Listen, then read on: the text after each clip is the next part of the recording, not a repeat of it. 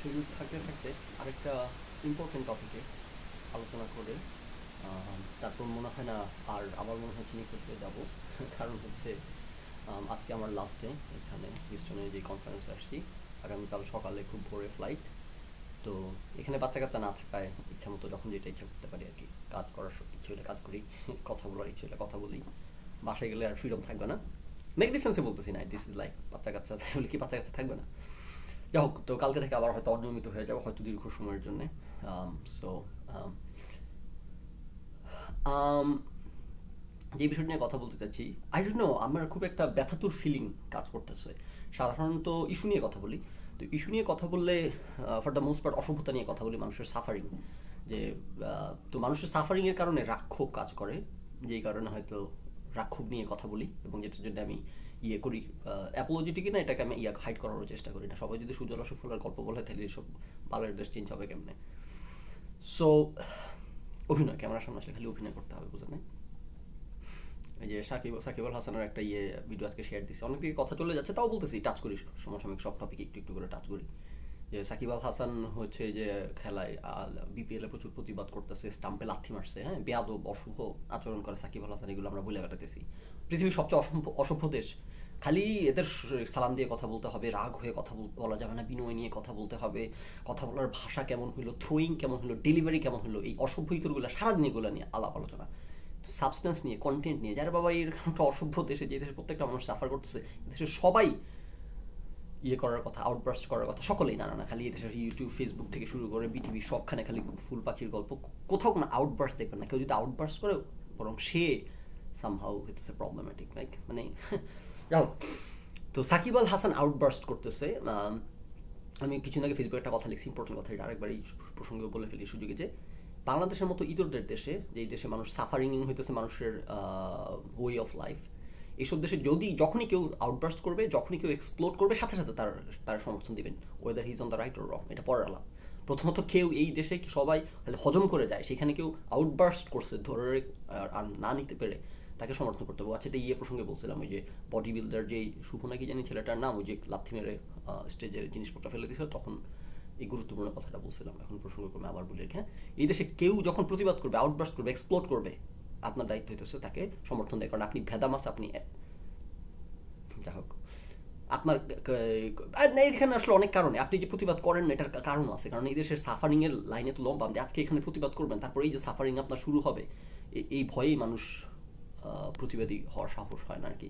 আরেকটা ব্যাপার হচ্ছে আমাদের ওই এভলিউশন প্রসেসের মতো আর কি। আপনি আপনি আপনার পারিপার্শ্বিকতার সাথে ইভলভ করেন, পারিপার্শ্বিকতার সাথে অ্যাডজাস্ট অ্যাডপ্ট করে নেন। তো আমরা এই দেশে বড় হইতে হইতে আমাদের অটোমেটিক্যালি আমাদের ওই যে অনেক কথা হইতেছে, বলি। এই এগুলাই বলার জন্যই আসলে বালের কথা বলি। মেজাজ গরম হয়ে যায় এগুলো দেখতে দেখতে একটা পর্যায়ে এসে। যে আমাদের, আমরা কিন্তু বাংলা বাঙালিরা, বাংলাদেশিরা যখন আমরা দেশের বাইরে আসি তখন ধরেন বিদেশিরা দেখবেন, উনিশ থেকে বিশ হলে প্রতিবাদ করে। যে এই আমার মনে করেন যে কোথাও কোনো একটা যদি অনিয়ম হয় বা তার অধিকার, একটু যদি অধিকার উনিশ, বিশ হয়, সে সাথে সাথে মামলা করে দিবে। আপনার এয়ারলাইন্স কোম্পানির বিরুদ্ধে মামলা করে দিবে, অমুক কোম্পানির বিরুদ্ধে মামলা করে দিবে মিলিয়ন ডলার সু করে দিবে। তার অধিকারে উনিশ, বিশ হলে কিন্তু ফাটাই ফেলবে সবাইকে, এখানে কিন্তু কেউ চুপ করে হজম করে নেয় না। আপনি কালচারটা বোঝেন, পার্থক্যটা, যে আমাদের কালচার আমরা আসলে হজম করে নিই। কেউ কথা বললে ইভেন আমি এগুলো কতবার শুনছি যে, এই বেশি কথা বলে, এত প্রতিবাদ করার কি আছে, এত কথা বলার কি আছে? মেনে নিলেই হয়, হজম করলেই হয়, বাড়াবাড়ি করতেছে। সো আমাদের কালচারে আমরা এত সাফার করি এবং আমরা এত হজম করে নিই, আমাদের পার্সোনালিটি ওইভাবে শিফট হয়ে যায়। আমরা একটা উদ্ভুত চিড়িয়ায় পরিণত হই যেখানে হইতেছে সকল সাফারিং আমরা হজম করে নিব এবং ভীতু একটা জীব এবং ওই যে কারণে কথা বললাম, বাংলাদেশিরা আপনারা যখন দেশের বাইরে আসবে দেখবেন আপনারা এটা সবসময় যে আমরা এটার আবার নাম আমরা হইতেছে ইয়ে করে, কি জানি বলে এইভাবে বলার চেষ্টা করি বা ভাবার চেষ্টা করি, আমরা মনে হয় সাই আমরা মনে হয় লাজুক, ভদ্রলোক, আমরা আমরা ভদ্রলোক। তসলিমান হাসান ইস্যুতে আসতেছি, আমরা ভদ্রলোক, পৃথিবীতে আমাদের মতো ইতর শ্যাস্তর ছোট লোক আর আছে কোথাও? না ওইটা কিছু না, আমরা শাইন আমরা ভদ্রলোক না, আমরা ওই যে হজম করতে করতে সারা জীবন আমাদের পার্সোনালিটি অমন হয়ে গেছে যে আমরা খালি সব কিছু যে ধাক্কা খেলে লাথি খেলে, উষ্ঠা খেলে যে হজম করে চলে যাই হ্যাঁ? কারণ প্রতিবাদ করার সেই পার্সোনালিটি আমাদের গড়ে ওঠা এই দেশে থাকতে থাকতে। প্রতিবাদ করলে খবর আছে, আপনার জীবন বরবাদ হয়ে যাবে। যদি সেই জন্য কেউ প্রতিবাদ করে না। এখন আবার কেউ যদি প্রতিবাদ করে, ওইটা যেটা বললাম আর কি, এখন কেউ যদি প্রতিবাদী হয়, কারণ আমার তো মনে করেন যে আমার এই যে আপনার ইউটিউবে দেখবেন কত এখন শুরু হয়েছে পডকাস্টার মডকাস্টার সব হালুয়াখুরগুলো সব ইউটিউবে এসে উঠছে, যেটা বলে বিটিভি টু সারাদিন এই পডকাস্ট করে বেড়াতেছি করে দেখবেন সারাদিন সুজল সুফলার গল্প বাংলাদেশে বসে। হ্যাঁ ভাই, ঠিক আছে, তোরা বাংলাদেশে বসে যেহেতু ইয়ে বলতে পারিস না, সমালোচনা করতে পারিস না তা আমি বুঝি না, বোঝার কোনো কারণ নাই। তো অ্যাটিটিউডে তো যেমন সালমান মুক্তাদির, ওর অ্যাটিটিউডে কিন্তু এটা ক্লিয়ার যে ভাই, এই দেশে, এই অসভ্য দেশে আমি সাফার করতেছি, দেখে অনেক কিছু বলতে পারি না। একটু কথা অ্যাটলিস্ট সে বলে। বা এই ভাইবটা দেয়, এই ভাইবটা দেয় না পাবলিককে যেটা কিন্তু সুজল সুফলা শস্য সমলা দেশ, পৃথিবীর সেরা দেশ, কেন মানুষ দেশ ছেড়ে বিদেশে যায়, এই এই ভাইবটা কিন্তু সে দেয় না। সো একটু মিনিমাম কিন্তু করতে পারা উচিত রাইট যে কথা আমি বললাম যে এদের কিনে আমার ইস্যু হচ্ছে, এদের, এরা উল্টা ভাইবটা দেয়, এরা উল্টা এমন একটা হচ্ছে বিশ্বের সেরা দেশে আছি, আমরা সবাই এই দেশে মানুষ সাফারিং নিয়ে কেন কথা বলবে? আমার তো, আমি তো ফ্রম টাইম টাইম সবার রেডারে আসছি বিভিন্ন কারণে, বিভিন্ন ভিডিও বিভিন্ন আলোচনা, এটা আমি জানি ভালো করে, বিভিন্ন সময় টেরো পাইছি। তো এরা কিন্তু আমাকে ইগনোর করে মানে পুরোপুরি ইগনোর যে আমি এক্সিস্ট করি না হ্যাঁ? তো সেটা ঠিক আছে, আমার ফলো ইনকাম দেখে ইগনোর করা এদের জন্য easy on the other hand এটা ইগনোর করার কারণ হচ্ছে কি, আমি ইস্যু নিয়ে কথা বলি রাইট সো ইস্যু নিয়ে যে কথা বলে, তার সাথে দহরম মহরম করা যাবে না বা তার সাথে ইয়ে হওয়া যাবে না আর কি হ্যাঁ বুঝলেন? সো এরা সবাই মিলে একটা বাবল তৈরি করছে এই দেশে। আপনারা মনে করেন আগে যে বিটিভি ছিল, এখন এটা ইউটিউবে চলে আসছে। যেই আলোচনা করতেছি, এটা তো বিশ্বভিত্তিক আলোচনা থেকে জেনারেল আলোচনা হয়ে যাচ্ছে। বিশ্বভিত্তিক আলোচনা তো আসতেছি। এগুলো সবই ইন্টারটয়েন্ড এই জন্যে বলতে হয় রাইট সেটা সবাই মিলে একটা বাবল তৈরি করে ফেলছে। বাঙালিকে যে কারণে আমি যখন প্রথম কথা বলতে শুরু করছিলাম, আমি চ্যানেল যখন খুলছি, এটার কারণ কি? সিঙ্গেল সিঙ্গেল কারণ কি ছিল জানেন?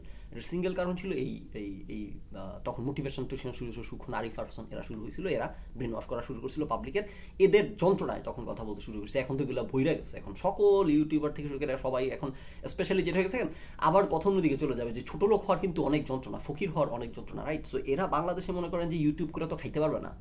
বাংলাদেশে আপনার যদি এক মিলিয়ন ভিউ হয়, তাও দুই পয়সা আসে না। তো এরা করতে হবে কি? এদের হইতেছে ওই যে বিভিন্ন স্পন্সর নিতে হবে, বিভিন্ন কোল্যাপ করতে হবে সবার সাথে মিলেমিশে চলতে হবে বোঝেন নাই?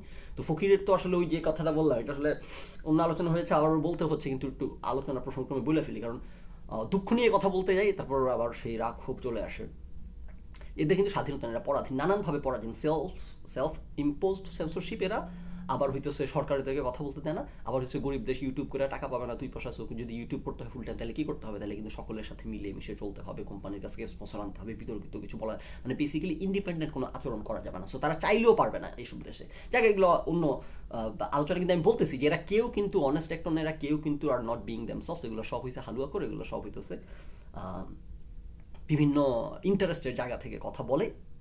তার চেয়ে ইম্পর্টেন্ট বিভিন্ন ইন্টারেস্টের জায়গা থেকে কথা বলে না। এটা কিন্তু খুব একটা ইম্পর্টেন্ট সিরিয়াস জায়গা। যে একটা মানুষ কি বলতেছে মনে হবে, একটা মানুষ কি বলতেছে না, কি বলতেছে না দ্যাট ডিফাইন্স দেম কি বলতেছে তার সে কি বলতেছে না, কোন জিনিস ইগনোর করে যাচ্ছে অ্যাভয়েড করছে দ্যাট ডিফাইন্স দেয়ার পার্সোনালিটি তো যাও এই চলে আর কি রাইট সো এই দেশের মানুষের এই যে সাফারিং এই যে জ্বালা যন্ত্রণা এরা ভয়ে খামোশ হয়ে থাকে, মুখ খুলে না, প্রতিবাদ করে না, তসলিমা নাসরিন যে ঘটনাটা ঘটছে রিসেন্টলি আমরা তো এখানে আলোচনা করব ওনার, পুরো হিপ রিপ্লেস করে ফেলছে ডাক্তার যেখানে উনি নিজে একজন ডাক্তার, ঘটনাটা ইন্ডিয়াতে ঘটছে রাইট সো ওনার স্ট্যাটাসটা দেখি আপনার মানুষের জীবন কত অসহায় লাগে। আসলে তসলিমা নাসরিনের মতো ওনার লেখা পড়ে বুঝলাম যে ওনাকে চিনতে পারে না যে ডাক্তার এই কাজ করছে যে এটা হচ্ছে স্ট্যাটাস তসলিমা নাসরিনের।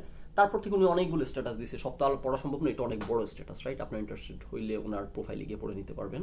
বিশাল বড় স্ট্যাটাস তো পুরোটা পড়া সম্ভব হচ্ছে না ওনার প্রোফাইল সো বেসিক্যালি যেটা হয়েছে, উনি পড়ে গিয়ে ব্যথা পাইছে হাঁটুতে তো তারপর হাঁটুতে ব্যথা পাইছে ওটার কারণে ওরা পুরো হিপ রিপ্লেস করে ফেলছে। কেটে ফেলে দিছে পুরো হিপটা কেটে ফেলে দিয়ে ওখানে সম্ভবত কি বসাইছে? চেতন ফিল্ডে ব্যাপারটা আরও ভিডিও দেখলাম। যাদের হিপ জয়েন্টে ব্যথা বছর পর বছর হাঁটতে পারে না হিপ জয়েন্ট স্টিফ হয়ে গেছে। যাও, তারপর উনি, ওনাকে যখন বলছে পুরো হিপ কেটে ফেলে দিতে হবে, পুরো হিপটা উনি তো যে কেউ ভয় পেয়ে যাবে। আরে, কি বলে, আমি একটা প্রচুর খেয়ে পড়ছি রুমের মধ্যে, হাঁটুতে ব্যথা হয়েছে এটার জন্য হিপ ফেলে দিতে হবে। বাংলাদেশ ইন্ডিয়া এগুলো তো আমরা পার্থক্য করি না, উনিশ আর বি সবই অশুভ দেশ অবশ্যই বাংলাদেশও থার্ড ওয়ার্ল্ড কান্ট্রি ইন্ডিয়াও থার্ড ওয়ার্ল্ড কান্ট্রি এবং এই ক্যাটাগোরাইজ করা যে আমি যে বারবার এই ওয়ার্ডগুলো ইউজ করি কেন? যে থার্ড ওয়ার্ল্ড কান্ট্রি এটার কারণ হচ্ছে এই একটা ওয়ার্ড ইউজ করলে আপনি মোটামুটি একটা পিকচার পেয়ে যাবেন যে এই দেশে কী চলে। কারণ এই র্যাঙ্কগুলো তো করা হয়েছে বিভিন্ন ইয়ের ভিত্তিতে রাইট সো যেই দেশগুলো একটা আদলে পড়ে, এরা ফার্স্ট ওয়ার্ল্ড কান্ট্রি যেই দেশগুলো একটা আদলে পড়ে, অবশ্যই এগুলো কোয়ান্টিটেটিভ ডেফিনেশন কোয়ালিটেটিভ বিভিন্ন ইয়ে আছে স্কেল আছে সেগুলোর ভিত্তিতে। এগুলো সেকেন্ড ওয়ার্ল্ড এগুলো থার্ড ওয়ার্ল্ড সো আমি বারবার থার্ড ওয়ার্ল্ড কান্ট্রি কথাটা বলি যে, এটা এটা বোঝানোর জন্য যে, যখনই বলি এটা third world country you know যে সব দেশে কী চলে। সো ইন্ডিয়া বাংলাদেশ দুইটাই থার্ড ওয়ার্ল্ড কান্ট্রি সো আপনার বাংলাদেশে যা চলে ইন্ডিয়াতে তাই চলে। তবে থার্ড ওয়ার্ল্ড কান্ট্রির মধ্যে আবার একটা স্পেকট্রাম আছে। ইন্ডিয়া মনে করেন থার্ড ওয়ার্ল্ড কান্ট্রির উপরের দিকে বাংলাদেশ একেবারে তলানিতে, পৃথিবীর সবচেয়ে তলানি দেশটা। সো ইন্ডিয়া অনেক দিক থেকে বাংলাদেশ থেকে ফার বেটার কিন্তু অ্যান্ড ইয়েট দুইটাই কিন্তু থার্ড ওয়ার্ল্ড কান্ট্রি ওটা মাথায় রাখবেন। সো বাংলাদেশে যা চলে ইন্ডিয়াগুলো তো কমার বেশি তাই চলে। সো উনাকে ডাক্তার সামান্য একটা বিষয়ের কারণে ওনাকে জোর জবরদস্তি করে ওনার পুরো হিপ কেটে ফেলে দিচ্ছে। তো অবশ্যই সেটা যে কেউ শুনলে যে একটা আপনার জীবনের তরে আপনার এত বড় একটা ডিসিশন উনি সময় চাইছে যে কি বলেন না হোল্ডন আমার এটার জন্য হিপ কেটে ফেলে দিতে হবে কেন? না ইট ডাজন্ট মেক সেন্স এবং উনি একজন ডাক্তার নিজে Taslima Nasrin herself she is a doctor like Mymensingh medical থেকে পাস করা ডাক্তার রাইট প্র্যাকটিস করেন অনেকদিন কিন্তু ডাক্তার। তো উনি তো শুনে অবশ্যই ভয় পেয়ে গেছেন উনি বলছেন না, আমাকে সময় দেন ভাবতে দেন কথা বলতে দেন। না ডাক্তার কথা বলতে দিবে না কারণ সে এখন দেখেন এই যে তসলিমা নাসরিন সাথে সাথে ভয় পেয়ে গেলেন ব্যাক অফ করলেন, সময় চাইলেন, তাকে সেই সময় সুযোগ দেওয়া হলো না। অনেকটা হইতেছে চারদিক থেকে অন্যান্য ডাক্তাররা মিলে না না এখনই করতে হবে, না করলে এই করতে হবে, এইগুলো একদম উনি করে মানে ইয়ে করে ওভারওয়েলম করে ফেলছে ওনাকে। করে উনিও না বুঝে উনি হ্যাঁ বলে ফেলছে। তারপর হইতেছে হিপ রিফ্লেস করব তারপর যখন ওনাকে তারপর আস্তে আস্তে উনি যখন সময় পাইছি এটা নিয়ে আর একটু জানার কথা বলার, তখন ওনার স্ট্যাটাস পরে বুঝতেছি একটার পর একটা। এখন উনি আরও কনভিন্সড আরও ডাক্তারদের সাথে পরে কথা হয়েছে আরও পড়াশোনা করে সে এখন শিওর যে তার হিপ রিপ্লেসমেন্ট করার মতো কিছুই হয় নাই, তাকে জোর জবরদস্তি করে করা হয়েছে যেই কারণে আমি বললাম যে ওনাকে যে ডাক্তার কাজটা করছে উনি সম্ভবত চিনতে পারে নাই, কারণ ওনার একটা জায়গায় একটা স্ট্যাটাসে তসলিমা নাসরিন লিখছেন, যে আমাকে সিম্পলি আরেকজন ওই কাগজপত্র জমা দিয়েছে, নাম তাসলিমা নাসরিন ন্যাশনালিটি বাংলাদেশি। সো তসলিমা নাসরিনকে সিম্পলি আরেকজন বাংলাদেশি মুসলমান মহিলা আসছে বাংলাদেশ থেকে চিকিৎসা করাইতে, মুরগি পাইছে, ওই মুরগি জবাই করে দিছে। সো ওইটা যেহেতু তসলিম নাসরিন বলছে, তার মানে আমি বুঝে নিয়েছি তসলিম নাসরিনকে সে ডাক্তার চিনতে পারে না চেনার কথা না, তসলিমা নাসরিনকে ইন্ডিয়ার সবাই চিনবে ওনাকে। উনি যেই লাইনে কথাবার্তা অ্যাক্টিভিজম করেন, ওই লাইনের কিছু মানুষ হয়তো, বাংলাদেশে তো সবাই চিনে, ওই লাইনে ইন্ডিয়ান কিছু মানুষ হয়তো চিনবে রাইট সো একটা হাসপাতালে গেছে সেখানে ওনাকে চিনতে পারেন মেক সেন্স সো ওনাকে মুরগি ভেবে, মুরগি পেয়ে জবাই করে দিয়েছে আচ্ছা।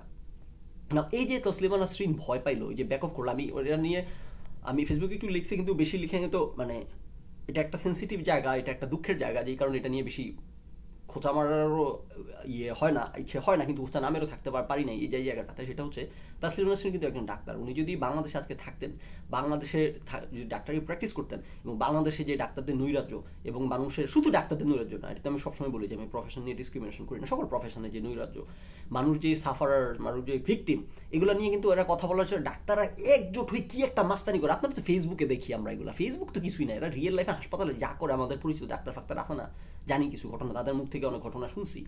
এরা যেই রকম আপনি একটা রোগী হয়ে হাসপাতালে গেলে এদের হাতে যেই পরিমাণ জিম্মি, এদের আতঙ্ক, এগুলো যে রকম মাস্তানি করে, একটা মানুষ হাসপাতালে যখন যায় তখন সে তার লাইফে সবচেয়ে ভালনারেবল অবস্থায় থাকে, তার তার নানা চিকিৎসা করতে হবে, অসুখ, বিসুখ, শরীর খারাপ।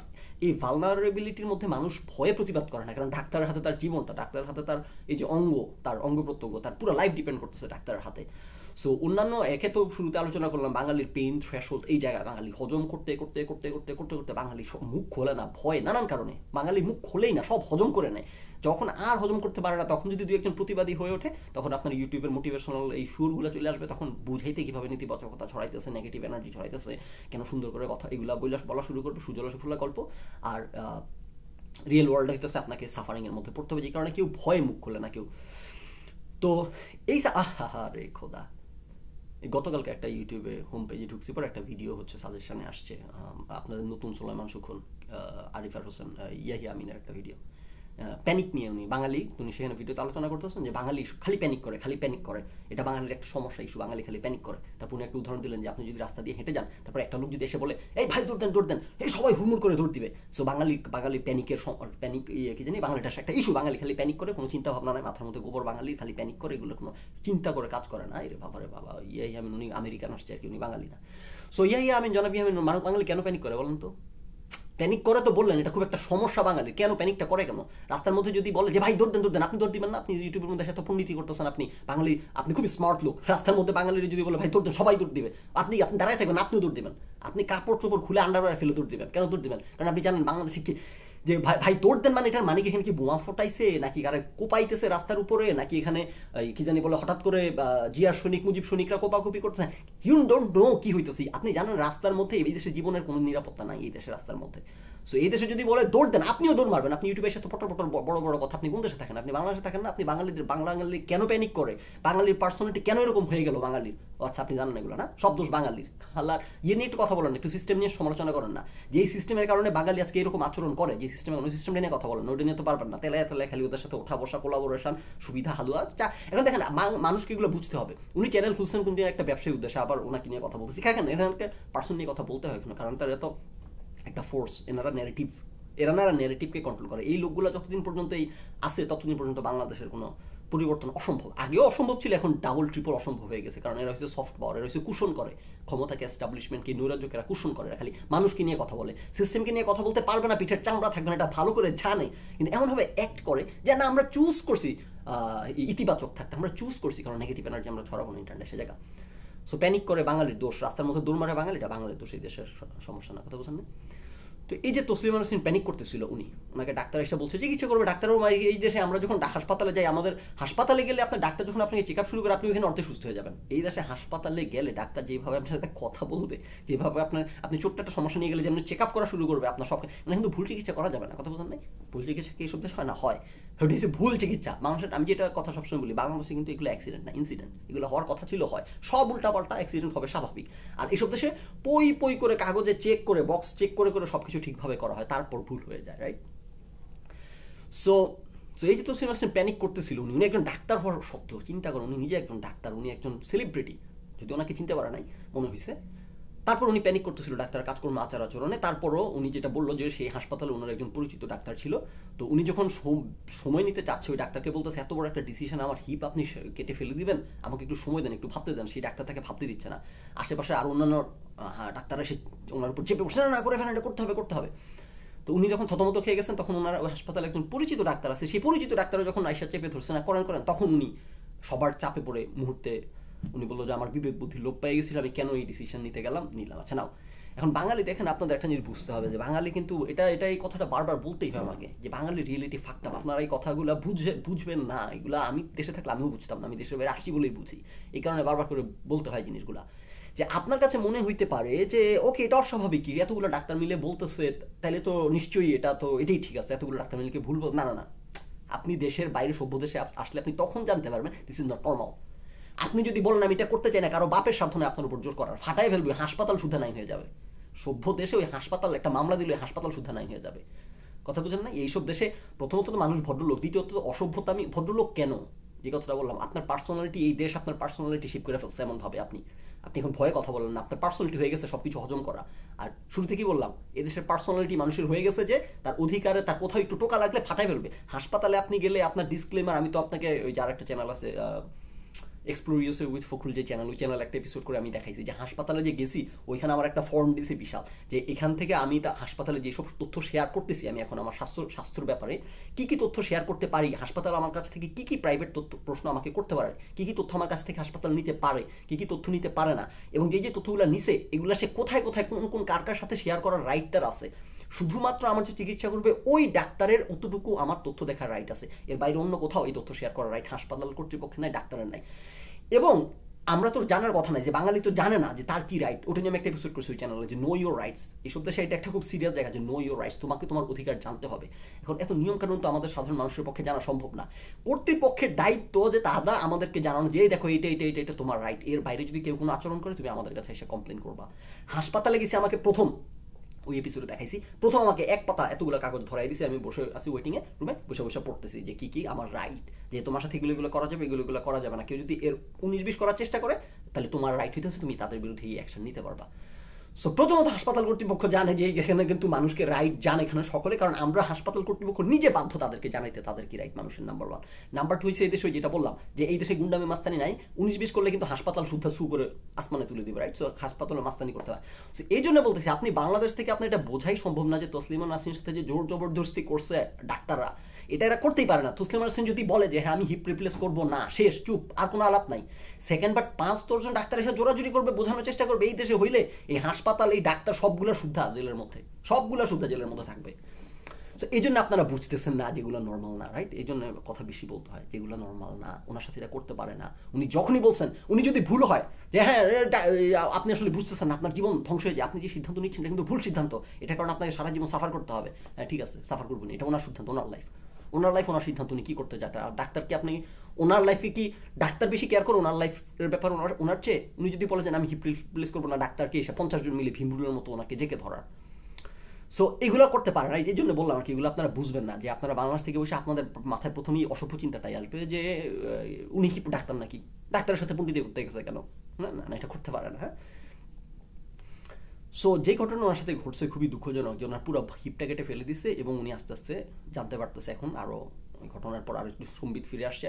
আর একটু সেটেল ডাউন করার সুযোগ পাইছে আরও অন্যান্য ডাক্তারদের সাথে কথা বলতেছে, উনি এখন একের পর এক স্ট্যাটাস দিচ্ছে এবং এটা মানে খুব একটা ব্যথাতুর experience apart from Taslima Nasrin what she stands for what she believes এগুলো অন্য কথা। সেখানে সাধারণ মানুষ হিসেবে রাইট যে ওনার সাথে যে কাজটা করে আপনি একটা মানুষকে সারা জীবনের তোরে পঙ্গু করে দিছে। এখন সে, উনি জানতে পারতেছেন যে হিপ রিপ্লেসমেন্টের কারণে এখন উনি চেয়ারে বেশিক্ষণ বসতে পারবেন না, পায়ের উপর পা তুলে বসতে পারবেন না ওয়ার্কআউট করতে পারবেন না, গোসল করতে গেলে কেমনে কি করতে হবে, কেমনে শুইতে হবে মানে পুরো লাইফটা এখন ওনার ইয়ে হয়ে গেছে। শুধুমাত্র উনি হোঁচট খেয়ে পড়ে, কোথায় জানি। এবং ওনার ফ্র্যাকচারও সম্ভবত হয় নাই, পরে উনি এখন এগুলো আস্তে আস্তে বেরোয় আসতেছে, জনসম্মত ফ্র্যাকচারও হয় নাই। এবং হিপ রিপ্লেসমেন্টের জন্য যেই যেসব জায়গায় গেলে হিপ রিপ্লেসমেন্ট করা যায়, তার আগে এটা তো একটা খুব মেজর সিরিয়াস একটা ডিসিশন রাইট সো এটা তো ছেলের হাতের মোয়ানা তো এত বড় ডিসিশন নিতে হলে যেই যেই হেলথ কন্ডিশন হইতে হয়, এগুলো সব এখন লিখতেছেন যে এগুলো এগুলো হইলে তখন হিপ রিপ্লেস করা যায়। আমার কোনোটাই চেক করে না, এই কোনো বক্সই আমি চেক করি না, তাও আমার হিপ রিপ্লেস করে ফেলছে। এক্সকিউজ মি সো উনি এখন একজন সেলিব্রিটি হয়, ওনার অনেক ফলোয়িং থাকায় উনি কথাটা যখন লিখতেছেন, সাথে সাথে লাখ লাখ লোক জানতে পারতেছে ওনার সাথে কী হয়েছে এই ঘটনাগুলো অহরহ মানুষের সাথে করতেছে ওনাদের তার ফলোয়িং নেই। উনি বসে যার সাথে করছে সে হাসপাতালের বাইরে এসে রাস্তার মধ্যে আধা ঘণ্টা চিল্লাচিল্লি করছে। ওই আধা ঘণ্টা ওই রাস্তায় আসা যাওয়ার পথে মানুষ শুনছে। শেষ। ঘটনা ওইখানে শুরু এখানে শেষ। রাইট কেউ জানতেও পারেনি সাফারিং ওনার কিছু ফলোয়িং থাকায় এখন উনি এখন আসে চিল্লাচিল্লি করতেছে আমরা সবাই শুনতে পারতেছি। উনি চিল্লাচিল্লিও করতেছেন উনি একেবারে লেখার ভাষা থেকেই বোঝা যাচ্ছে বেচারি একদম ভেঙে গেছে এবং ভেঙে যাওয়ার মতোই ব্যাপার রাইট একটা মানুষ সুস্থ মানুষ ওইভাবে উনি লিখছে এক জায়গায় যে আমি দুপুরবেলা আমি সুস্থ মানুষ, হাঁটাচলা করতেছিলাম একটা জাস্ট হোচট খেলাম আর রাতের বেলা আমি হইতেছে জীবনের তোরে পঙ্গু হয়ে গেলাম। এটা কি ভাবা যায়? মানে মানুষের জীবনের দাম, মূল্য কত কম এইসব দেশে? মানে তসলিমার এই এই ঘটনাটা আর কি, এটা দেখে আমি আমি কেন জানি, আমি জানি আমার রাগ আসে নাই। এই ধরনের সাফারিং মানুষের দেখলে আমার আমার রাগ আসে, আমার ক্ষোভ আসে। কিন্তু এই ঘটনাটা দেখে আমার কেন জানি রাগা লাগে নাই। আমার কাছে, আমার খুব কষ্ট লাগছে যে মানে কীভাবে পারে মানুষ? এবং এই ওনার লেখাটা পড়লে আপনি বুঝবেন যে, ওই টিপিক্যাল আমরা যা জানি, বাংলাদেশে যা হয়, ডাক্তাররা যা করে বেড়ায় আর কি হ্যাঁ? একটু ইয়ের জন্য সার্জারি করলে একটু টাকা পাবে, এই জন্য জোর করে সি সেকশন করায়। তারপর হচ্ছে যে জোর করে সার্জারি করায়, মানুষকে জীবনের তোরে পঙ্গু করে দেয়, খামখেয়ালি করে একটা কাজ করে ফেলল। এবং এই কারণে অবিশ্বাস অনাস্থার কালচার তৈরি হয়েছে এবং এই যে কারণে অনেক ক্ষেত্রে ডাক্তাররা হয়তো ভুল চিকিৎসা করেন না, হয়তো বা সঠিকটা করতে গেছে, ভুল হয়ে গেছে, সেটাও হইতে পারে। কিন্তু এই মাত বাজারের মধ্যে আপনার পক্ষে কখনোই জানা সম্ভব না। এবং এটা এটা মাথায় ঢুকে নেন যে আপনার কিন্তু এই রাইট আছে প্যানিক করার ডেসপাইট ইয়া হাইয়া আমিনরা এইসব মোটিভেশনাল এগুলার, এরা যা বলে রাখে হ্যাঁ? ইয়েগুলা। দেখা এরা যা খুশি বলুক, আপনার কিন্তু রাইট আছে প্যানিক করার, আপনার কিন্তু রাইট আছে কোয়েশ্চেন করার, আপনার কিন্তু রাইট আছে, হইতেছে আপনার জীবন নিয়ে আপনার, আপনি যা ইচ্ছা সিদ্ধান্ত নেবেন আপনার, এবং সন্দেহ করবেন স্পেশালি এই দেশে। শুধু এই দেশ না, আপনি আমেরিকাতে বসে আপনার রাইট আছে সন্দেহ করা ডাক্তার যদি এটা এসে আপনি চ্যালেঞ্জ করবেন। আপনি, আমি তো এই দেশে বাচ্চা কাচ্চা দেখা এরকম, যদি প্রশ্ন করি ডাক্তারকে, যদি একটা জায়গায় দুইটা প্রশ্ন করি, সে সব কিছু ফালাই চেয়ারটাই নিয়ে না বসে আমার প্রশ্নের উত্তর দিতে। এখন সে আমাকে ব্যাখ্যা করবে, আমি কি জানতে চাই? আমি এগুলো দেখে আমি আমার ওয়াইফের সাথে বলতেছিলাম যে, সারা জীবন বাংলাদেশে দেখছি যে, আমার সাথে আমার চিকিৎসা করতেছে, কি চিকিৎসা করতেছে একটু বোঝার যদি চেষ্টা করি আমরা তো অশিক্ষিত, মূর্খ না। আপনি যদি বাংলাদেশে কারোর সাথে কথা বললেন, মনে হবে আপনি পৃথিবীর সবচেয়ে মূর্খটা। আপনি কিচ্ছু বোঝেন না, এরা পণ্ডিত। ওই দেখেন না, বাংলাদেশে বলবে গুগল ডক্টর। আপনি কিছু বুঝতে চাইলেই বাংলাদেশে ডাক্তার হাসাহাসি করবে, ও গুগল করে ডাক্তার হয়ে আসছে না, আমরা তো বুঝি না কিছু, আমরা মূর্খ তো সব, আমরা পড়লে, বাংলা ইংরেজি পড়লে বুঝি না আমরা সো এই দেশে যখন ডাক্তারকে কিছু প্রশ্ন করি, বোঝার চেষ্টা করি যে কি হইতেছে আমার সাথে, আমার রোগটা কি ট্রিটমেন্টটা কি, কেন হচ্ছে না, এরা চেয়ার টেনে এনে বসে আমার বাচ্চা সম্পর্কে দুইটা প্রশ্ন করলে এরা কম্পিউটার সব রেকর্ড থাকে ডেটা থাকে। কম্পিউটার টেনে এনে আমার বাচ্চার রেকর্ড বের করে করে এই যতদিন চিকিৎসা হয়েছে গ্রাফ টাফ সব দেখে দেখে বোঝানো শুরু করে যে এই এই। সে কিন্তু জানেও না যে আমি নিউক্লিয়ার ইঞ্জিনিয়ার আমার পিএইচডি ডিগ্রি আছে। সে কিন্তু জানো না। সে আমি একটা সাধারণ মানুষকে এই সম্মান দিয়ে ট্রিট করে। আর বাংলাদেশে যদি আপনি বলেন গিয়ে যে আমি একজন বিশ্ববিদ্যালয় শিক্ষক, আমার পাঁচটা পিএইচডি ডিগ্রি আছে, আমার সাথে কি হচ্ছে আমাকে একটু বলেন, আমি বাংলা বললে বুঝি। সেই ডাক্তার এমনভাবে রিয়েক্ট করবে যে আপনি মুরুক্ষ আপনি কোথেকে আসছেন? আপনার সাথে এত কথা বলব, আপনি বুঝবেন না ডাক্তারি। কথা বলছেন না? তো আমি এগুলো সারা জীবন দেখে আসছি যে আমার আম্মা উনি একটু কিউরিয়াস টাইপের জানার চেষ্টা করে, বোঝার চেষ্টা করে। যেটাই রাইট যেটাই হওয়ার কথা, আমরা সবাই এরকমই হওয়া উচিত ছিল। বললাম না, কিন্তু এই দেশের কারণে আপনারা এমন হইতে পারেননি দেশ আপনাদেরকে পার্সোনালিটি আগাগোড়া পুরোটাই নষ্ট করে দেয় আমাদেরকে মানুষ পুরো ভেতর থেকে আমাদেরকে পৌঁছায় দেয়। তো সারা জীবন আমরা ডাক্তার ডাক্তারের কাছে গেলে আমরা এরকম আগ্রহ, আমরা জানতে চাই যে কী হয়েছে কেন হয়েছে বোঝার চেষ্টা করে। এমন একটা ব্যবহার যে ডাক্তারদের কী বোঝে? এখন আমরা তো একজন কলেজের অ্যাসিস্ট্যান্ট প্রফেসর ডাক্তার তো আর জানে না, ডাক্তার জানলেও বা কী লাভ হ্যাঁ? সো বাংলাদেশে গেলে জন্য সবাই আমরা কিন্তু মিনিমাম কথা বলি। ডাক্তারের চেম্বারে গেলে যে জায়গায় গেলে মিনিমাম মুখটা এঁটে রাখি কুলুপ পেটে রাখি, নিজের ইজ্জত, সম্মান ধরে রাখার ভয়, যে অসভ্যরা সাথে সাথে বিজ্যুতি করে দিবে, কোনো কথা বললে রাইট কিন্তু আপনার কিন্তু রাইট আছে জানার আপনার সাথে কি হচ্ছে, আপনার কিন্তু রাইট আছে প্যানিক করার, আপনার কিন্তু রাইট আছে কোয়েশ্চেন করার, আপনার কিন্তু রাইট আছে ডিসএগ্রি করার। কিন্তু আমরা করার সাহস পাই না, করি না, করলে এমনভাবে এরা সবাই মিলে রিয়েক্ট করবে। আপনার এই যে সোলামা শুকুর আরিফার হোসেন ইয়াহিয়া, আমিনরা মিলে যে এই প্যানিক করাটা হইতেছে একটা অপরাধ। আপনি ভুল করতেছেন, আপনি দোষ করতেছেন, আপনি তাই এরকম একটা অসভ্য দেশে বসে যে দেশে পদে পদে অবিশ্বাস, অনাস্থা। এবং কেন অবিশ্বাস, অনাস্থা? এই যে তসলিমা নাসরিনের সাথে আজকে যা হইল। দুঃখজনক, এগুলো দুঃখজনক, কষ্ট লাগে।